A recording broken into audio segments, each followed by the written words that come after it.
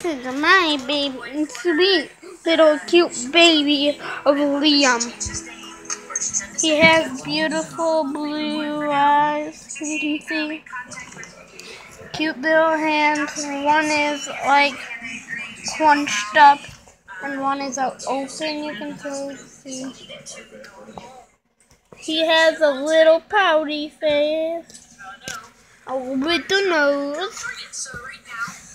And some very pretty eyelashes. And uh, as you can see, he has a little cute monkey shirt on with smile. And his little cute toe, see?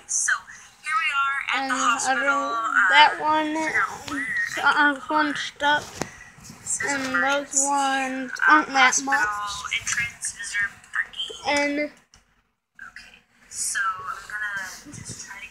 He has a little wrinkles on his hand, but on this one, just a very tiny bit, but down here on his arm has some wrinkles. You can see it. And his hair, well, I just took off his hat so he looks like that. But I'm going to push down his hair real quick. See? All you have to do is push it down. Like I am pushing it back. No, I'm gonna be pushing it. I'm so excited. I have words. right here. He is sleeping.